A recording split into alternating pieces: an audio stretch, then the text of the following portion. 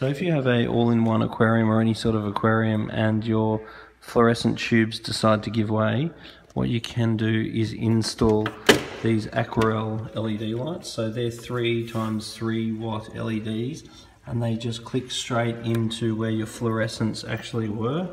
So you don't need to keep replacing globes anymore. Um, you just replace it with this and these particular units either click straight into the, the aquarium light itself or um, it also comes with brackets. Or if you don't have fittings for the light to fit in it does also have um, suction um, stickies that stick onto the top of the light. So you can make them work under most circumstances and then it will light your aquarium up nicely and they're semi-waterproof and it just means you don't have to play around with fluorescent tubes anymore because the disadvantage with fluorescent tubes is the fluorescent tube is full of gas so over a period of three to six months, the gases will, or say six to nine months, the gases will um, burn, and then the intensity and spectrum of the light will fade, which will affect the presentation of the tank and affect the plants.